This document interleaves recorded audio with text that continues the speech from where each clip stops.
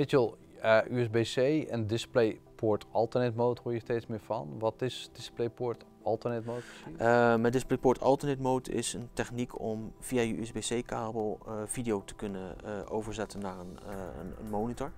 En die zijn dan verschillende adapters te krijgen. Je hebt adapters naar HDMI, VGA, DisplayPort of zelfs DVI. En daarmee kun je dus van het scherm van je laptop nog uh, laten zien op een ander scherm. Dus dan heb je een gekloonde uh, varianten van. Maar je kan ook zeggen dat je op twee verschillende schermen werkt. En dan heb je een uitgebreide bureaublad. Dus dat is eigenlijk wat je daarmee kan. Je kunt zetten eigenlijk gewoon het, uh, ja, een, een, over die USB-C kabel een videosignaal. Mitchell, als je een DisplayPort alternate mode hebt, werkt dat dan alleen met DisplayPort kabels?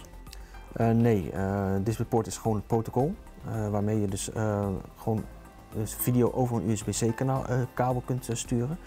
En die kunnen, kun je dus in verschillende varianten krijgen. Dus natuurlijk USB-C naar DisplayPort, maar je kan ook USB-C naar HDMI, USB-C naar VGA, DVI.